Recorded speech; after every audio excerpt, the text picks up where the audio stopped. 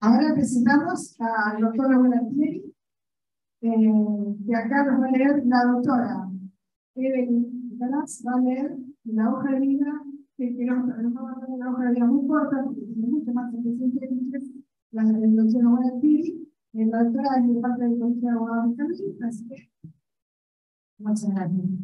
Doctor Manuel Arrieri es abogado recibido en la UBA, en especial de Derecho Empresarial, Universidad de San Andrés, docente en la Facultad de Derecho de la Universidad de Buenos Aires, director académico en Derecho del Trabajo del Colegio Público de Abogados de Capital Federal, profesor de posgrado de la Universidad Católica de La Plata en Fundación Circuso Colproba, es miembro investigador de FINDEJUS, miembro de la Sociedad Argentina de Derecho Laboral, fundador y presidente de la Asociación Abogados del Fuero, creador del grupo AFTE, Abogados del Fuero del Trabajo en Emergencia 15.300 miembros, la comunidad laboralista más grande de la hispana, y redes sociales relacionadas Instagram, Twitter y YouTube. Es publicista es activista defensor del Pueblo Nacional del Trabajo y es fundamentalmente abogado vigilante y defensor del colega vigilante, abogado de la pie.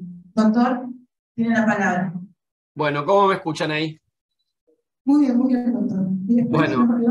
cuando esté por terminar, nos va a dar nuevamente los para hacer la, dar a conocer eh, cómo hacerse socio de AFE. Sí, sí, yo después les paso el link que es muy simple, es abogadodelfuero.org.ar barra asociate. Eh, yo después lo, lo escribo, lo puedo escribir acá en el chat y, ustedes se lo en, en este acto. Está perfecto, se escucha muy bien. Se escucha bien, perfecto, asociate. Esto sin perjuicio, eso es la asociación civil, ¿bien? La simple asociación. Y el grupo Facebook, que lo pongo acá. Grupo Facebook es abogados. Ahí tengo eco, ¿eh? El fuero del trabajo en emergencia. Bueno, ahí está. Y sí, por supuesto, las personas que quieran entrar ponen en las preguntas, fue, fue invitada por Nahuel Altieri en ocasión de, su disertación en la Universidad de Cuyo, así los moderadores los, los aprueban. Y hoy que eh, da numerosas capacitaciones, muchas de ellas son gratuitas, unas capacitaciones específicas, por ejemplo, la materia, la última que están dando es toda una, una especialización en materia de prueba electrónica, que está excelente. Eso y muchas cosas más. Ayer tuvimos una sobre prueba electrónica, tengan presente que el director de la Comisión de Derecho Informático hoy está actuando en representación del colegio público eh, ante la Corte para ver modificaciones al LEX 100 y está también nuestro director eh, trabajando en el colegio público para bajar a una app del colegio público de abogados toda la información.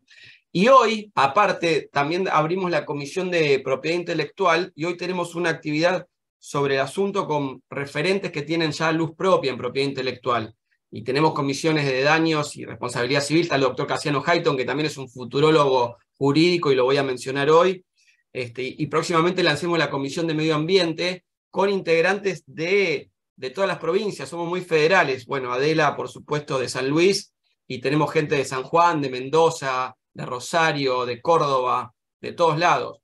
Así que es una asociación federal y cualquier, cualquier persona con título de abogado puede sumarse a este, la asociación, pero al grupo Facebook y a las actividades pueden sumarse abogados, estudiantes o alumnos sin ser socios. Son dos cosas distintas. Somos una asociación o, una plataforma de medios digitales que se, se creó para ayudar al colega y para difundir el derecho.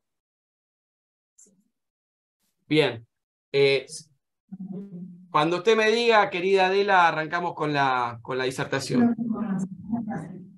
Bueno, el tema de hoy eh, tiene títulos varios, el derecho al trabajo del siglo XXI. A mí me gusta llamarlo los desafíos del trabajo y del derecho del trabajo en el siglo XXI y la necesaria adopción de la tecnología del futuro hoy. Este es un tema el, para el cual hablé para la Asociación Iberoamericana de Derecho al Trabajo y la Seguridad Social en septiembre de 2020. Por supuesto que está actualizado este, eh, y porque siempre hay público nuevo y me gustaría arrancar primero que nada agradeciendo a las autoridades de la, de la Universidad Nacional de Cuyo, de San Luis, y por supuesto a la doctora Adela Pérez del Viso, que siempre es tan generosa invitándome.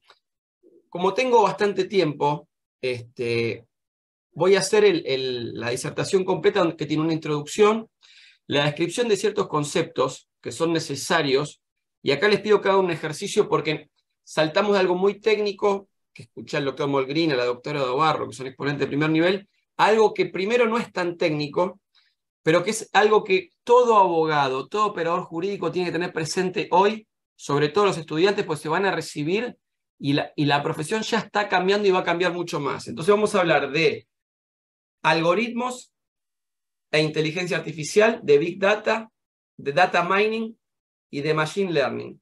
Después vamos a pasar a el impacto de todo esto en el trabajo, en el derecho del trabajo y en el derecho procesal del trabajo. Y para finalizar, vamos a dar eh, una conclusión y como siempre hacemos, algunas propuestas.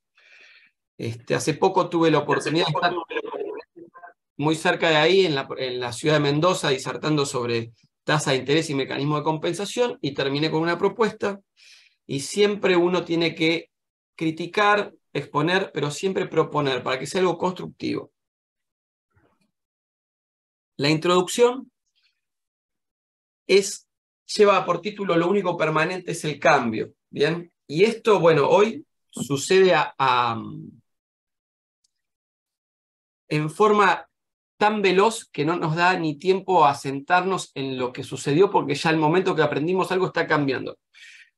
Siempre homenajeo a un catedrático peruano que se llama Teodosio Palomino, que lo escuché en Lima en ocasión precisamente de, una, de un congreso de la Asociación Iberoamericana de Derecho del Trabajo y la Seguridad Social, que decía que todo cambia, todo, todo se mueve, todo se transforma, y esto es una verdad incontrastable. Y él citaba, y yo lo, lo cito a su cita, se remite al, año 480 a.C., cuando Heráclito de Efeso dice, nadie puede bañarse dos veces en las mismas aguas del río, porque esto significa que todo cambio varía, o dicho de otra forma, como le dije hace unos segundos, lo único permanente es el cambio. Esto, reitero, lo afirmé en septiembre de 2020 y hoy lo ratifico, porque en estos dos años sucedieron un montón de cambios.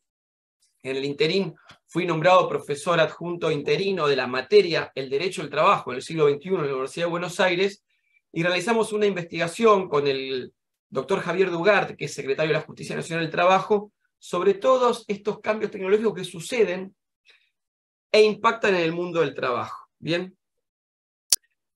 Siempre yo digo que al momento de disertar o al momento de escribir un artículo, digo la fecha. ¿Por qué?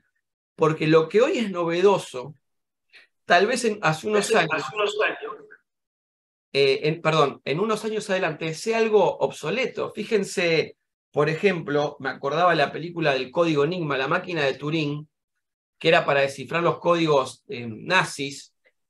Era una máquina de madera que se movía con alambres. Eso era tope de gama en el año 43, 44, cuando fue la Segunda Guerra Mundial. Y hoy es una pieza de museo.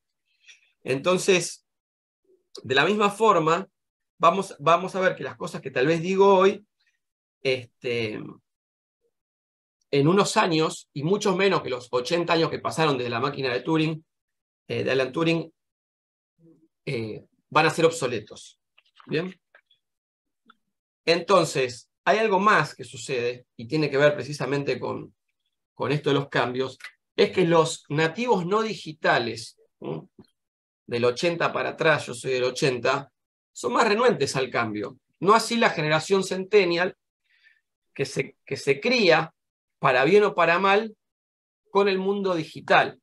Bien, esto tiene un montón de consecuencias positivas y negativas de todo tipo. Por ejemplo, eh, nosotros, para ver un dibujito, teníamos que esperar a determinada hora en la televisión de que pongan ese dibujito y lo repetían. Hoy mis hijos, si esperan 15 segundos a que empiece el próximo capítulo Netflix, les agarra un ataque. Entonces, tenemos, tenemos eh, incidencias a nivel neurológico graves que tenemos que estar preparados para manejar. Y esto que cuento con una anécdota de mi hijo de dos años, aplica para los operadores eh, que trabajan remotamente. ¿Bien? Y cómo se desdibujan ciertos aspectos que vamos a ver más adelante, como el de la jornada. Y nuevas enfermedades del trabajo que hoy ya están reconocidas como el burnout, pero que hace unos años tal vez no era tan común, porque Adela, que hoy ejerce la magistratura, sabe perfectamente que la jurisprudencia sobre burnout o el síndrome del quemado tiene pocos años. U otras cuestiones que tienen que ver, que no son precisamente tecnología, pero eh, eh, yo tuve la oportunidad de patrocinar a la primera persona trans discriminada. Eso no existía hace unos años. El primer fallo es 2019 y el planteo de 2013. Entonces el mundo va cambiando y siempre el derecho corre detrás. El problema con la tecnología es que la tecnología cambia mucho más rápido que el derecho. Entonces, el primer desafío es que los operadores jurídicos estemos a la altura de las circunstancias. Entonces, decíamos, los centennials se, acomodan rápido, los otros no, y en el medio, como anécdota, pasa que por ahí en algún juzgado todavía hoy estén cosiendo expediente con hilo y sal. Los remanentes. Esto sucede por dos cuestiones. La segunda que sucede es que hasta hace poco en un juzgado nacional de trabajo, aún dictado la acordada del expediente electrónico, seguían imprimiendo las resoluciones en papel, por la costumbre. Y había una ordenanza ocupándose todo el día de imprimir resoluciones en papel que no es necesario imprimir. Pero esa es la renuncia al cambio. Y no es un tema menor, porque para que los cambios sucedan, las personas tienen que incorporarlas a su mindset, ¿no? Sería su forma de pensar. Vamos a desarrollar los conceptos. ¿De qué hablamos cuando hablamos de innovación tecnológica? El primero es la llamada inteligencia artificial, los algoritmos, que es el campo científico de la informática que se centra en la creación de programas y mecanismos, algoritmos, que pueden mostrar comportamientos considerados inteligentes. ¿Bien? En otras palabras, la inteligencia artificial es el concepto según el cual las máquinas piensan como seres humanos. Esto es un poco exagerado. Esta es una, mm, una definición que da una empresa que se llama Salesforce, que es muy famosa, de aplicaciones de CRM, que es Customer Relationship Management, o sea, atención al cliente y marketing muy amplio, que utilizan las grandes empresas. Bien. Está discutido, está discutido hablar de pensamiento humano porque las máquinas hoy no generan, no tienen conciencia. Por lo menos por el momento. Bien. Entonces es una crítica. Pero sí podemos decir que estos algoritmos autoaprenden sobre una serie ordenada de instrucciones que se las da una persona o un grupo de personas que son los programadores o bien los directivos de una empresa o, como le dicen ahora una startup que le baja a su vez a los programadores. Bien, como por ejemplo, lo voy a mencionar más adelante, para entender un poco esto, los algoritmos y demás, tienen que ver eh, la serie Playlist que está en Netflix sobre el origen de Spotify. Bien, ahí tenemos un inversor uno que tiene la idea, que sabe programar, pero a su vez él contrata a otros programadores que son los que van seteando los algoritmos.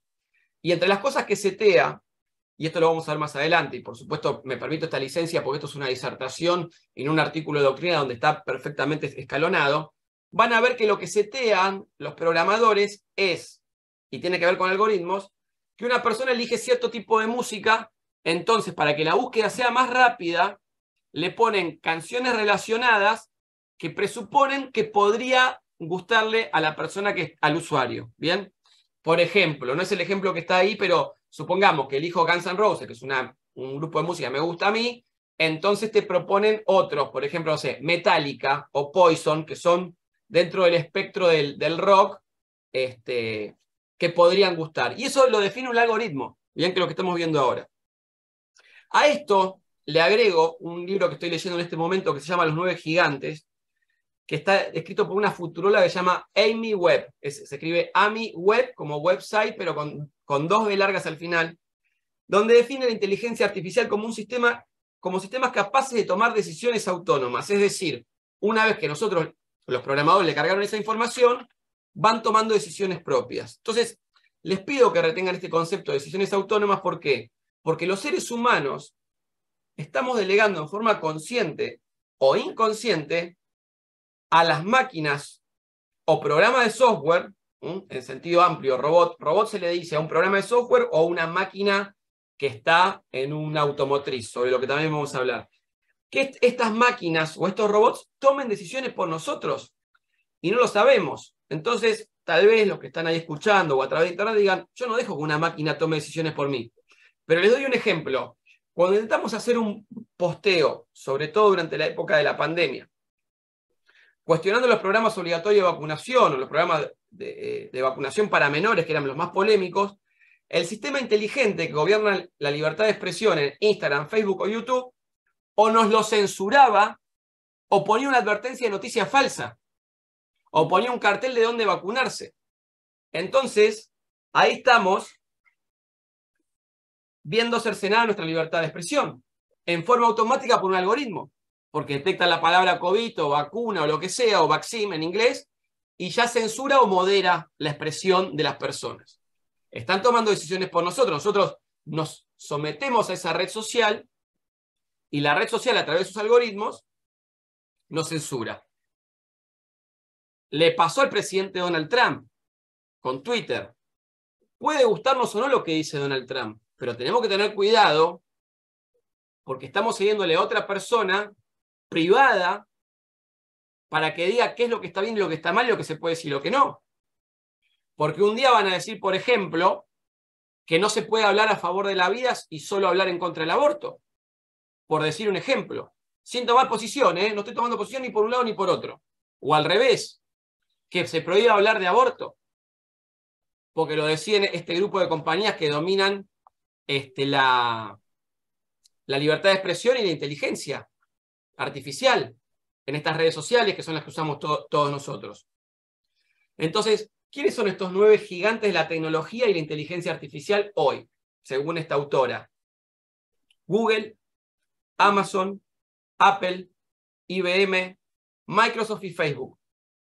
Todas empresas privadas con base por lo menos operativa en los Estados Unidos de América. Digo base operativa porque muchos tienen sede en Luxemburgo para desgravar impuestos o pagar menos.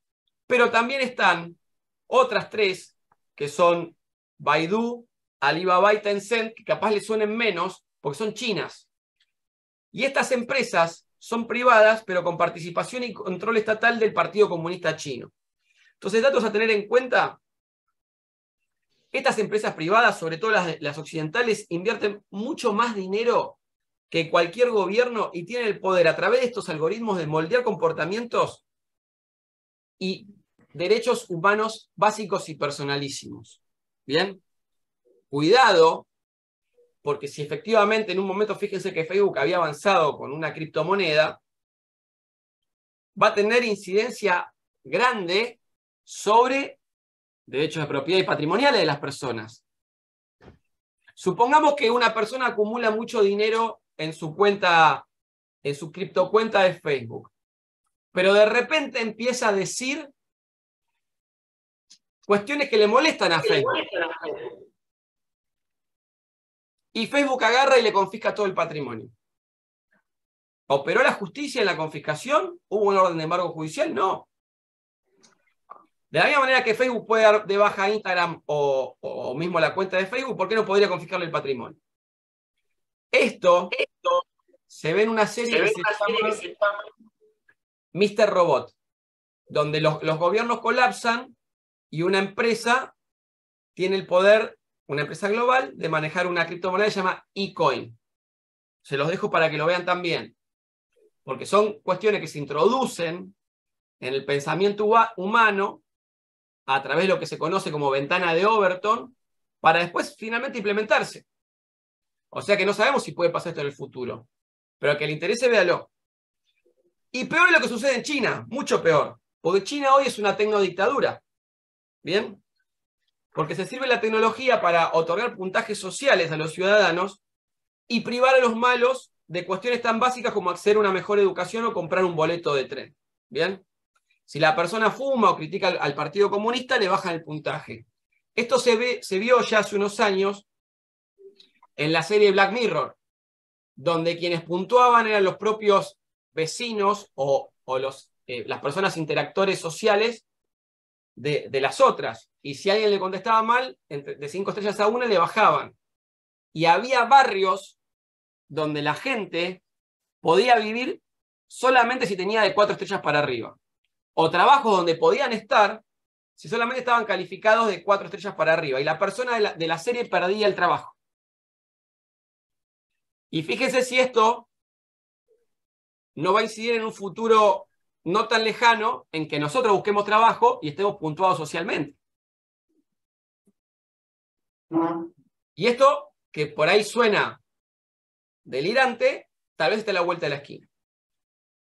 Vamos al siguiente concepto que es el de Big Data. Bien, también existen eh, diversas definiciones sobre esto y se lo define como un término, ahí leo un poco porque son definiciones que busqué y quiero ser técnico en esto, que describe cualquier cantidad voluminosa de datos estructurados, semiestructurados y no estructurados que tienen el potencial de ser extraídos para obtener información.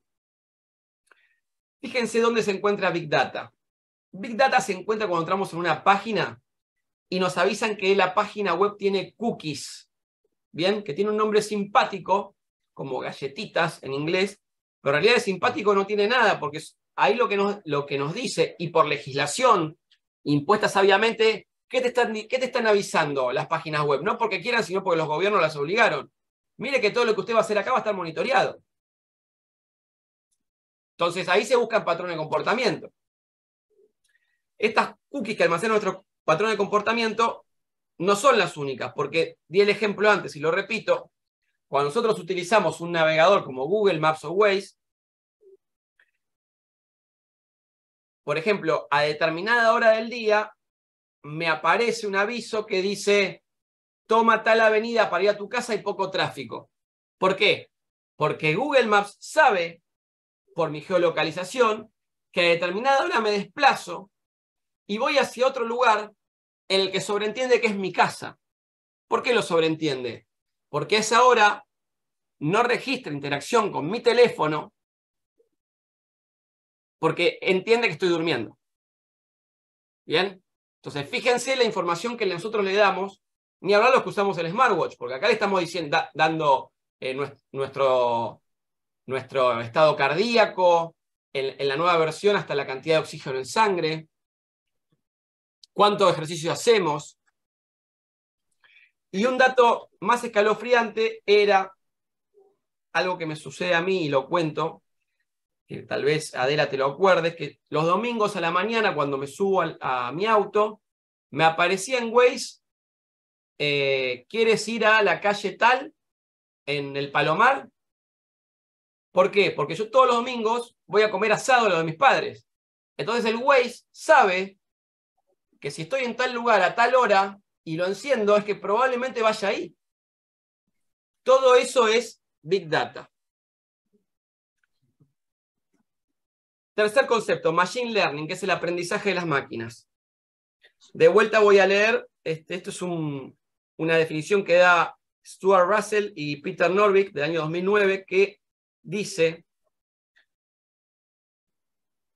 se lo define como el subcampo de la ciencia de la computación y una rama solamente de la inteligencia artificial cuyo objetivo es desarrollar técnicas que permitan que las computadoras aprendan. Se dice que una gente aprende cuando su desempeño mejora con la experiencia, es decir, cuando la habilidad no estaba presente en su genotipo o rasgos de nacimiento. Entonces, en el ejemplo que di más arriba, Google Maps o Waze aprendieron que en determinado lugar era mi casa, porque pasaba cierta parte del tiempo, ¿bien? Y presumían que estaba durmiendo porque el teléfono estaba quieto. Ni hablar el reloj. El reloj además tiene giroscopio. Entonces, ¿qué significa esto? Que si yo lo pongo en el modo nadar, este reloj, y nado, el reloj automáticamente detecta el tipo de estilo que estoy nadando por los movimientos. Crawl, espalda y pecho los reconoce a la perfección. Y el teléfono también reconoce cierto tipo de movimientos. Y fíjense lo más eh, interesante, que los dispositivos escuchan a los usuarios. Y esto fue admitido por las empresas. O sea, fíjense, si yo hablo, por ejemplo, de San Luis, San Luis, Potrero de los Funes, Potrero de los Funes, voy a entrar a, mi casilla de Gmail y me va a aparecer un ad de estadía en Potrero de los Funes. Ni hablar de los servicios de Google Home, que es el asistente de Google, o de Alexa de Amazon. ¿eh? Esos programas aprenden de lo que le decimos, pero también de lo que escuchan. Entonces, ¿dónde está el derecho a la intimidad? Entonces, hay Big Data de nuestros desplazamientos, hay Big Data de nuestro comportamiento de consumo, Mercado Libre, Amazon, nos sugieren determinado tipo de productos, Spotify y Netflix, como ya hablamos, o sea, Netflix está bien claro, te lo dice, porque viste tal cosa, te puede gustar tal otra. Y también hay un montón de Big Data, desde mi humilde punto de vista, desaprovechada en el Poder Judicial. Porque los procesos podrían ser, y ya vamos a verlo más adelante, optimizados en función de un análisis previo, permanente y constante de los datos que arroja el litigio. Por último, el data mining, que es la minería de datos. Bien, o sea, toda esta cantidad de datos que es gigantesca, se necesita un conjunto de técnicas y tecnologías que permitan explorar esas bases de datos, bien de manera automática o semiautomática con indexadores, con el objetivo de que encontrar patrones repetitivos que expliquen el comportamiento de estos datos. Es decir, por ejemplo, para determinada edad va este segmento de música o este segmento de videos. Fíjense que ahora Netflix, por ejemplo, te propone un usuario infantil y te manda eh, programación para 2 a 4 años, de 4 a 8 y de 8 en adelante. Entonces ya está segmentando en función de lo que entiende que va a ser específico para cada perfil. Por eso es las experiencias de consumo son cada vez más personalizadas. Y lo que nosotros prendemos al ver Netflix, nuestra pantalla de inicio no es igual ni a la de Adela ni a la del doctor Aníbal Cuadrado. Porque cada uno tiene comportamiento de consumo de productos televisivos distinto. Entonces, esto generalmente es un sistema de inteligencia artificial, ¿bien? El que identifica estos patrones y tendencias, ¿bien? Y realiza predicciones de forma automática con rapidez y precisión. Ni hablar, ni hablar lo que sucedió con eh, Cambridge Analytica, que hicieron esto mismo con personas reales para generar tendencias y manipular el público electoral.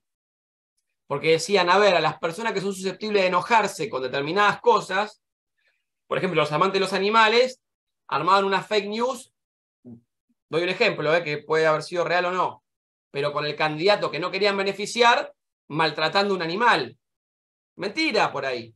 Pero ya hacían que se genere una tendencia negativa en, o un sesgo determinado en el espectador. Entonces, esto éticamente utilizado puede ser que nuestras experiencias cotidianas sean más inteligentes y eficientes ni hablar de nuestro ejercicio judicial. Pero, reitero, hay dilemas morales y éticos muy grandes. Vamos a la tercera parte de la exposición, que es el impacto en el trabajo, en el derecho del trabajo, y por último, el derecho procesal del trabajo y el servicio de justicia. Impacto en el mundo del trabajo. Me acuerdo que di el ejemplo y lo reitero, en la localidad de Santa Isabel, provincia de Córdoba, ya en el año 2017 anunciaban que iban a que tenían un nivel de automatización del 80%, y en el 2020 afirmaron que tenían instalados 120 robots de última generación. ¿Cuántos obreros de Smate y WOM fueron reemplazados? ¿Mm? En los convenios que se firmaron con el sindicato, leía acertadamente, después no, no lo sé si se implementó porque no fui a la planta, que los obreros se iban a recapacitar. Bien. Hay que ver si todos estaban en condiciones de ser recapacitados y si, se necesitaba a todos. Porque por ahí se necesitan muchas menos personas humanas para controlar el funcionamiento de los robots. Entonces tal vez no hay espacio para todos. Por eso después saltamos, y perdón que me adelante, a estos conceptos de renta básica universal, o de reducción de jornada que son interesantes, pero no aplicables desde mi humilde punto de vista para la Argentina actual, porque nos falta tecnología para generar tanta riqueza suficiente como para dar renta básica universal. No tengo duda que en el futuro va a ir por ese lado, ¿eh? y que por supuesto se va a migrar la mayor parte del trabajo humano al sector servicios y a ciertos, y a ciertos eh, actividades del sector servicios. Porque vamos a ver que algunas cuestiones básicas del, de lo que son servicios de limpieza o de atención al cliente también están automatizados hoy. Eh, sigo. ¿Qué pasó de dos años esta parte? A principios de octubre, hace un mes, eh, la empresa Tesla de Elon Musk presentó un robot humanoide denominado Optimus. Tiene forma humanoide, sus manos con articulaciones, hago así para que sea elocuente, y movimientos similares a los de un, a los de un humano, son detalles ergonómicos que le permiten manipular objetos con relativa facilidad y puede levantar paquete de 9 kilos en cada mano. Por supuesto que arranca un robot tosco, pero así arrancó la máquina de Turing. Y hoy, 80 años después, la, miramos como, como una pieza de museo. Entonces, ¿cuánto va a faltar para que los robots humanoides nos reemplacen en un montón de tareas? Fíjense que hay, series de ciencia ficción donde seres humanos hacían el amor con androides. Androides que ejercían la prostitución. Me estoy tratando de acordar la serie. Eh, es una que estaba en Amazon Prime, que no es muy conocida, pero era muy interesante el concepto porque hoy están haciendo muñecas mecánicas que son vistas a lo lejos con rasgos humanos. Entonces, esto es escalofriante, pero sucede. Entonces, la pregunta es, ¿cuántos puestos de trabajo fueron reemplazados por los robots de Santa Isabel? ¿Cuánto va a reemplazar este robot humanoide? ¿Cuántos se reconvirtieron? ¿Bien? Entonces, antes se necesitaban tres operarios para colocar un parabrisa, y esto no lo digo yo, está en la película American Factory, mírenla en Netflix, que habla sobre la reconversión de una fábrica de parabrisas en Ohio, si no me equivoco, que es comprada por una empresa china. Y los chinos no tienen una formación precisamente en derechos humanos y en integridad de la persona humana. Van al, al negocio. Y de hecho, al, al final lo dice, y, no es spoiler, porque esto es un documental. No es la película Sexto Sentido. Esto es un documental. Uno dice, todos esos que están ahí, le dice el encargado de la planta, al dueño que vino de China, todo eso lo voy a reemplazar por máquinas el mes que viene. Entonces, a lo sumo que van a necesitar una persona para que arregle a ese robot, que es una, una grúa que hace así, con sopapas, agarra el parabrisa, pum, lo pega en el auto. Entonces, una persona controla su ejecución, pero no las tres personas que están a mano apoyando el parabrisa, pegando los bordes y demás. Otro ejemplo cotidiano y real, hay una cadena muy conocida que estuvo acá, se llama Domino's, que está en Estados Unidos, que entrega pizzas con drones y autos autónomos. Es decir, que no necesitan un chofer humano que los conduzca. Otra novedad que aconteció en estos últimos dos años es el caso de un auto autónomo multado en San Francisco, googleenlo, por circular con las luces apagadas de noche. Lo frenó la policía y el auto frena y después como que huye y vuelve a frenar. Al margen de esa anécdota que los dueños de la compañía decían que estaba buscando un lugar seguro para frenar, porque estaba huyendo de la ley, la pregunta que como abogados nos hacemos, la primera es fácil. ¿Quién paga la multa? Pues la paga el dueño del vehículo. Ahora bien, si tiene un sistema de puntos como el nuestro, y acá en Capital al tercer strike, a la tercera multa, te sacan el registro. O por lo menos tenés que ir a hacer un curso y te lo suspenden. ¿A quién se lo van a sacar ahí el registro? Si no hay conductor. ¿A ese vehículo le van a permitir? O en realidad todo el programa que funciona mal y no prende la luz de noche. Y en ese caso, ¿qué van a hacer? Por la multa de un vehículo van a suspender el, funcionamiento de 150 autos autónomos. Fíjense las consecuencias que tienen. Vamos a la industria de la música, que la mencioné antes. La venta de discos desapareció, salvo los, los nostálgicos, no existe más. De hecho, los artistas ya no sacan discos, sacan canciones. Están en formato digital, ¿bien? Y los artistas perciben, y se ve en la serie, un pago, un royalty, una regalía por esas acciones, por, por esas reproducciones. Esto es trabajo también, ¿eh? Es trabajo autónomo. Hay un artista que trabaja de eso. Y si le pagan poco, en la serie decía que un artista tenía 200.000 reproducciones por mes y no le alcanzaba para pagar el alquiler. Tenía que hacer otros trabajos y dar conciertos en bares. Lo acabo de ver hoy ese capítulo. Es muy interesante. Cuando estaba surgiendo, antes que surja Spotify, había varios sistemas de descarga que eran piratas. De hecho, uno se llamaba Pirate Bay. Y ahí la descarga gratuita y la falta de compra de discos lo muestran en la serie, mostraba que Sony y Suecia a nivel mundial debían despedir cientos de personas. Entonces, de vuelta, el impacto en el mundo del trabajo. Y la industria de la música se reconfiguró también. Por eso los artistas hacen 11 shows como hizo Coldplay ahora. Porque recaudan con eso. Por eso salen eh, artistas que son grandes, como Rolling Stone o Guns N' Roses, tipo que por esta les falla la voz y salen a actuar. Porque recaudan con eso, no recaudan más con los discos, ya no le entregan más el disco de platino. Le van a entregar algo por la cantidad de reproducciones, pero no por la cantidad de discos vendidos, porque no hay más. Porque se abandonó el, se abandonó el soporte magnetofónico, entonces pasó todo digital y ni hablar que desaparecieron, en consecuencia de esto, los videoclubes y disquerías. Entonces, todos sus empleados de comercio, chau. Vamos al retail, que es la venta al por menor. En Estados Unidos, y acá también hay algunos escenarios, y en Israel también, están las, los autoservicios, los grocery stores, o las cadenas de abarrotes, o las tiendas de venta al por menor, los chinos automatizados. Amazon Go es uno de ellos. Uno tiene, tiene una app, agarra las cosas, las pone en su canasto, el teléfono las registra por proximidad, pasa por la, por la puerta, donde hay una persona solamente controlando que nadie se robe nada o se necesita ayuda, y no hay cajero, porque pasa automáticamente y se, y se le descuenta, y cuando sale, le dice, mire, usted compró todo esto y acá tiene el detalle. ¿Bien? Y además ahí, Amazon, que de hecho compró Whole Foods, que es otra empresa un supermercado muy conocido naturista en los Estados Unidos, saca un montón de patrones de conducta, comportamiento y consumo. Entonces, fíjense que desaparecen los, las cadenas de supermercados. Vamos a otro, otro ejemplo bien actual, sector bancario. Ya lo había mencionado, pero cada vez avanza más y se transforma más. Las funciones, la mayoría, van al celular inclusive pagar. Entonces, ¿los bancos qué hacen? Reducen la cantidad de empleados y sucursales. Entonces, los bancos, para seguir teniendo presencia, se reconvierten.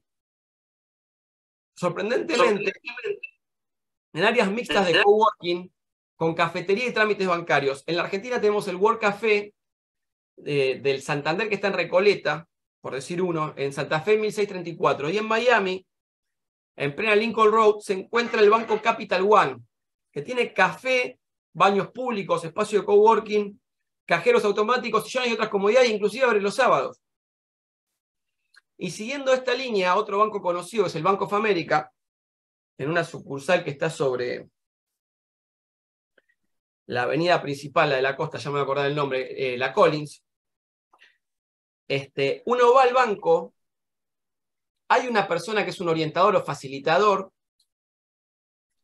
y después hay dos personas más que son comerciales. Pero si uno le dice, quiero hacer un depósito por caja, dice, no, no, no tenemos más cajeros humanos hace dos años. Entonces, y tenés que ir por el cajero, por el ATM, por el cajero electrónico. Pero si uno tiene un billete viejo, el cajero electrónico no lo reconoce. Entonces hay un montón de situaciones que no están previstas y para eso dice, bueno, tenés que ir a la sucursal, esto le pasó a un amigo mío, me lo contó este, que está, no sé, a 10 kilómetros, porque dejan pocas sucursales con cajeros. Entonces, fíjense eh, cómo se reduce la cantidad de empleados bancarios, reemplazados por máquinas o robots en el sentido amplio.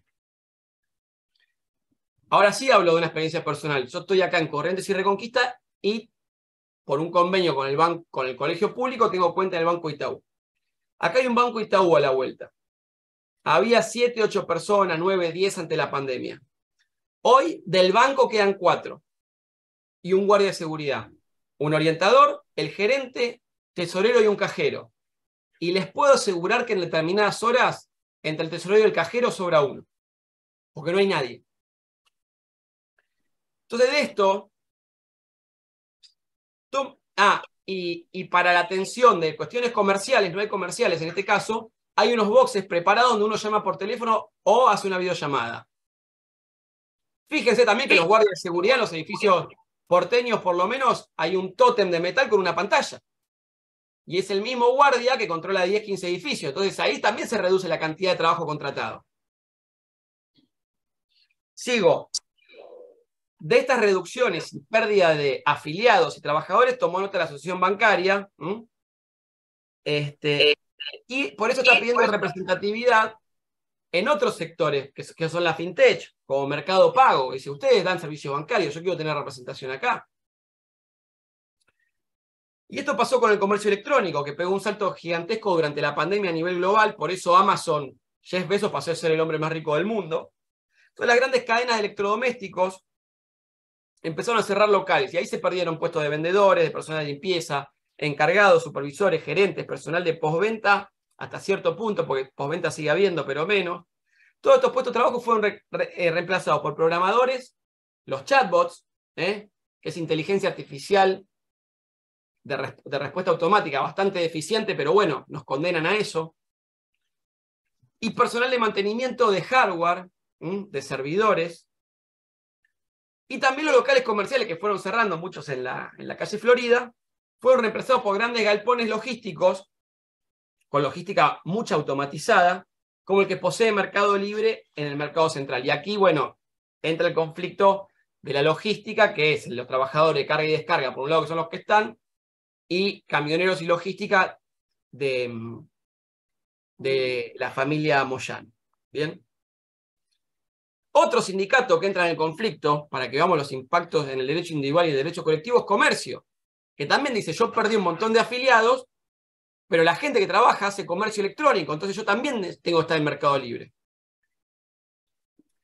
Y estos sindicatos a su vez colisionan con la Unión Informática, que es el sindicato natural de la actividad. Pues escúcheme, acá están todos trabajando con programas. Son programadores, son este, desarrolladores, diseñadores web, son informáticos. Entonces, fíjense todo lo que sucede con la tecnología que impacta luego en el mundo del trabajo. En el transporte también. Vehículos autónomos, drones, camiones, buques, aviones. Dábamos el ejemplo de que en las cuestiones bélicas hay una base de tripulación de drones, que no más que una persona con un joystick en Las Vegas, cerca de Las Vegas, Nevada, y bombardea objetivos en Medio Oriente o en Afganistán. Esto se ve perfectamente en la serie Homeland, por ejemplo, no es la única, este, pero ahí se ve bien. Y es muy crudo, por supuesto, una persona que está bombardeando a la mañana y a la tarde va a buscar al colegio a su hija. Y es un piloto de avión de un dron venta de tickets aéreos, espectáculos, hoteles, todo tiene algoritmos que varían el precio, sobre todo los, pasajes de avión, se ve mucho, en función de oferta y demanda y el comportamiento de cada usuario. En las actividades cotidianas, lo decía antes, sector servicio reemplazado, porque hay robots que aspiran y pasan el trapo.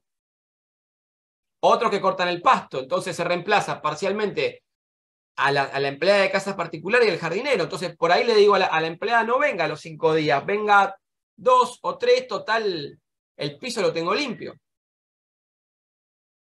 Y ya se van a ir eh, automatizando más las cuestiones del lavado y otras, ¿eh? que no nos sorprenda.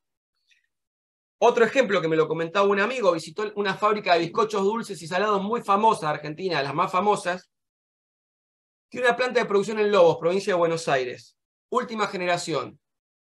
Imagínense la cantidad que producen. Yo parezco que estoy en la tele y no digo la marca. Este, pero las más famosas que se comen con el mate. Dos empleados tiene. Esa misma planta llegó a tener 120 empleados. 120, es decir, que hoy funciona con el 10% de la dotación histórica. Entonces, así como desaparecen esos oficios, surgen otros, como los programadores, el mantenimiento de hardware, el mantenimiento de robots, los analistas de Big Data, entonces, expertos en minerías de datos, porque estas personas tienen que analizar esos datos, pero con técnicas específicas, ¿no? que no son solo las de computación, tienen que aplican técnicas de marketing, de psicología, de sociología, de la ciencia política. Cassiano Hayton, que lo mencionaba al principio, que es director de una comisión en la Asociación Abogado del Fuero, habla de la convivencia laboral de los equipos mixtos, es decir, entre humanos y robots. ¿Bien?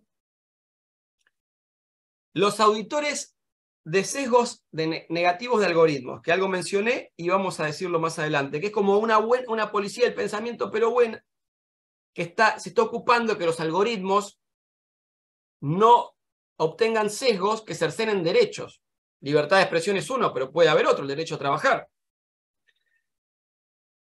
técnicos especialistas en medicina tecnológica o en cobótica, ¿no? Porque tiene que ser médico, pero a su vez saber operar un robot para operar. Hay robots que operan ya y realizan diagnósticos médicos. Entonces, tenemos visiones muy variadas del futuro sobre oficios que van a, aparecer y desaparecer. Vamos al derecho del trabajo. Decía hace, unos segundos, por favor dígame cuánto me queda de tiempo. Yo sé que más o menos 15 me quedan, que es lo que se trazó Viviana, pero no, quiero pasarme más de eso porque lo tengo al doctor Cuadrado eh, aquí y por respeto no quiero pasarme más de ese tiempo. El auditor de algo algorítmicos no es algo azaroso, porque esto del algoritmo en el año 2015 cobró notoriedad mundial cuando Amazon reconoció que su algoritmo de búsqueda de puestos excluía a las mujeres. ¿Bien? Esto está publicado, hay una nota del país del 11 del 10 de 2018 que la busqué para este artículo. Entonces, la normativa futura debería legislar sobre cómo deben ser programados dichos algoritmos, más allá de las cuestiones de compliance propias de las empresas que, por buen gobierno corporativo saquen. Pues tendría que haber legislaciones de carácter eh, provinciales, nacionales, estaduales o inclusive supranacionales para establecer criterios de selección no discriminatorios de puesto del trabajo. Porque estamos ante un caso de responsabilidad precontractual en derecho al trabajo. Después, el impacto que todos ya sabemos, que es este innegable impacto en el trabajo denominado autónomo dependiente, el, que el doctor Cuadrado es especialista. Lo escuché hablar hace un tiempo sobre esto y realmente es muy interesante lo que plantea. Las aplicaciones Uber, Cabify, Globo, Rappi, Pedido Ya. Esta forma de contratación hoy no tienen regulación específica, moderna y adecuada. ¿Bien? Que proteja durante la ejecución. Sí tenemos la ley de contrato de trabajo, que es una maravilla, pero que por supuesto en el año 74 no lo contempló. Entonces el trabajador, y lo digo porque tengo hoy reclamos contra eh, la empresa Reparto Ya o Pedido Ya, con sentencia favorable de primera instancia, el trabajador durante la relación laboral no tiene protección, no tiene RT, no tiene aporte. Sí va a tener la protección, Dios mediante, con una justicia deficiente, con 3, 4, 5, 7 años, capaz que le dicen que tenía razón, pero en el mientras tanto. Entonces, tal vez habría que repasar si no conviene tener algún tipo de legislación intermedia y perfectible, pero que le dé una protección mejor de la que tiene hoy el trabajador que realiza este tipo de funciones. En el teletrabajo, Ley 27555, se regularon cuestiones atinentes a la duración de la jornada, gastos, reversibilidad y privacidad del trabajador. ¿Bien? ¿No resultaría descabellado pensar que el, programa o la app le permita al empleador registrar todos los hábitos de trabajo de la persona? O inclusive acceder, y voy a hacerlo bien elocuente, a través de esta cámara que está acá, a ver cómo está el trabajador en su aspecto si está sano, si no tiene cara de, haber dormido poco, de haber consumido alcohol, si su rendimiento va a ser óptimo. ¿Hasta dónde llega la, posibilidad de control, de organización y dirección del artículo 62 del trabajador y dónde empieza la privacidad? Sobre todo teniendo en cuenta que acá atrás está la casa del trabajador, si trabaja de su casa. Entonces, también tenemos que tener cuidado de que fuera de la jornada el empleador no accede a través de esta misma cámara, que puede hacerse fácilmente, les aclaro, un hacker puede acceder en dos minutos a una cámara, este, a la intimidad del trabajador. Tenemos que reformular el concepto de jornada, ¿bien? Porque si la persona no tiene que trabajar en tiempo real en relación al cliente o en tiempo real con sus compañeros, bien podría conectarse a cualquier hora, en vez del tradicional de 9 a 18, de 8 a 16, etcétera. Entonces, el concepto presentismo, medido en función del tiempo, en que la máquina se encuentra apagada o conectada, sumado a estos temas de reconocimiento facial y reconocimiento de voz a través del dispositivo. Julián de Diego lo dijo hace poco, representante de empresas. Por supuesto, muchas cosas no coincido, pero sí dijo que la cuestión de la jornada laboral empieza a dibujarse y vamos al trabajo por objetivos. Esto lo dijo creo que el 26 o 27 de octubre en el Congreso de la Sociedad Argentina de Derecho Laboral en Mendoza. Para reforzar esta cuestión, estuve más temprano eh, en tribunales, conversando con un audiencista bastante famoso de primera instancia, muy reconocido inclusive por los abogados por su dedicación al momento de conciliar, y cuando me contaba cómo era su trabajo hoy no me hablaba de horas, me hablaba de, primero que el 60% del tiempo o más trabaja remoto, es decir, que de 10 días, no menos, el 30% de 10 días hábiles concurre 3. El resto es en función de objetivos, es decir, cuántas audiencias tomó, cuántas concilió y cuántas resoluciones saca por día. Si es productivo, la verdad no nos interesa a nosotros dónde está. Yo les le he dicho a más de un juez o jueza, si tiene el juzgado al día y está todo bien, por mí que, que despache de Tailandia, no me importa. Ahora el problema es cuando no está al día y encima no aparece. Otro concepto fundamental es el derecho constitucional de huelga. Se reformula completamente. Ya porque ya la misma no se perfecciona no acudir al trabajo. Sino que es cuando el trabajador no se conecta desde su casa.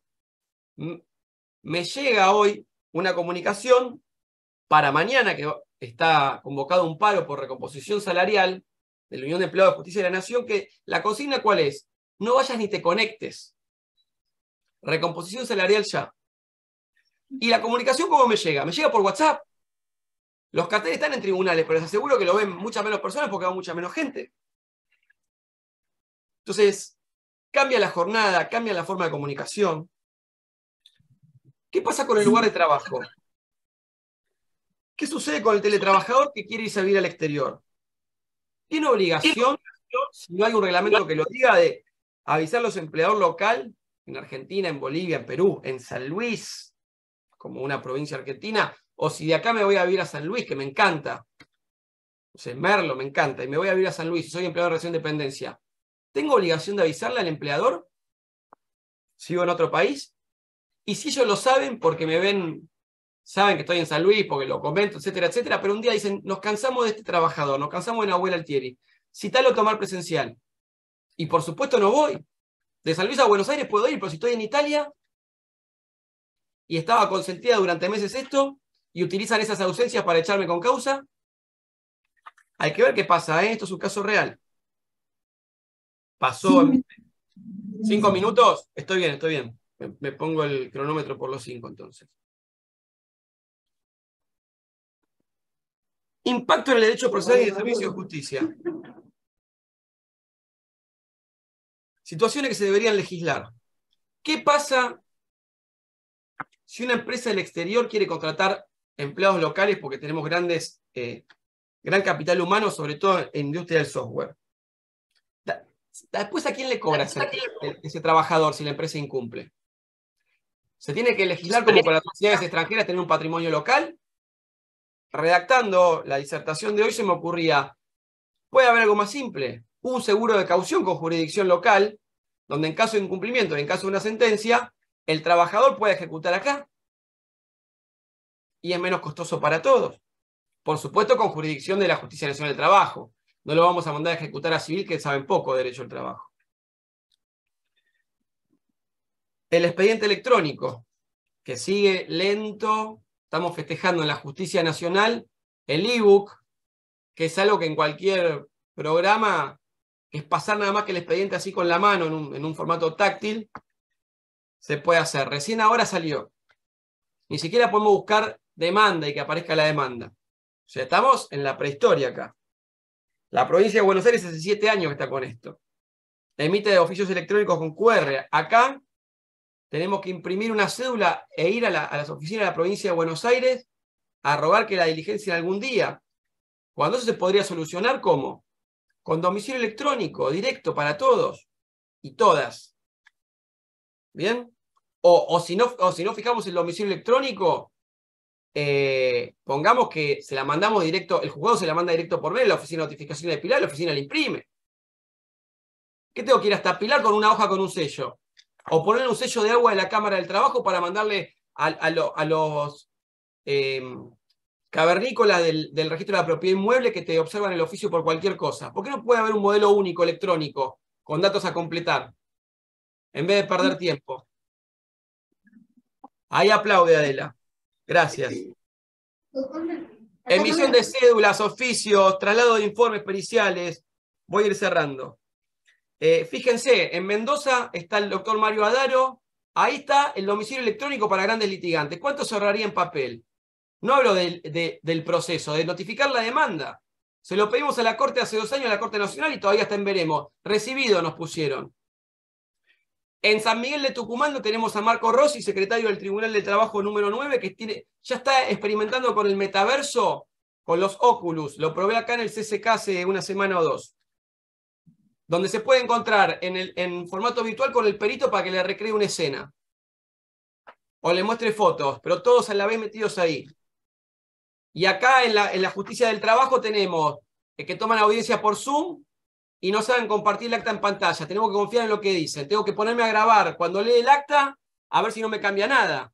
Y por el juicio de 120 millones de pesos. Porque no saben poner compartir pantalla.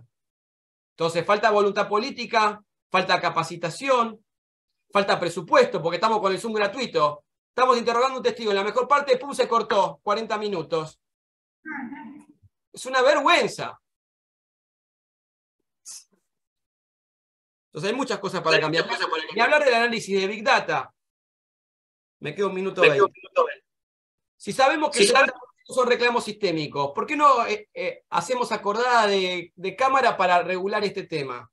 Obviamente sin cercenar derechos, ¿no? Porque hay algunos jueces que rechazan los recursos sin leerlos, ¿no? Con una plancha. Eso ya directamente prevaricato. Sucede acá en la Justicia Nacional. Pero si sabemos que 70% son de este tipo de reclamos, ¿por qué no hacemos capacitación en eso? ¿Mm? ¿Por qué no hacemos algoritmos para dar traslado automáticamente de la pericial? Si la pericial no hay nada que analizar, del, primer informe traslado, el perito lo carga de determinada forma que la máquina sepa que es un primer informe traslado y capacitemos a la gente para tomar audiencia de testigo para dictar sentencias interlocutorias. ¿Bien? Apenas que están publicando del 2020 las estadísticas. Voy con las propuestas en el último minuto. Avanzar con los domicilios electrónicos, para todas las justicias. Así como se registra el DEOX, primero háganlo voluntario y después obligatorio. Después el domicilio electrónico, para primero personas jurídicas y después vayamos por las personas humanas. El CECLO hoy, la buena noticia es que está notificando por esa vía. Muchos, bueno, no, no lo vi, pero hay por un lado hay que avanzar, ¿eh? notificando al domicilio de la FIP. Y por último, el domicilio electrónico como tiene Estonia, ¿eh? Para, y la identidad digital. Por supuesto, resguardando privacidad. Pero el camino es ese. Entonces, imagínense un año para notificar la demanda. Domicilio electrónico y se acabó el verso. Obviamente el, final era más largo, pero por respeto son los cinco minutos. Esperemos que la reflexión final es que es momento de actuar y utilizar todas las herramientas tecnológicas existentes en forma ética y eficiente para que una vez por todas nuestros países ingresen de una vez en el siglo XXI y dejen llamarnos despectivamente de tercer mundo. Muchas gracias.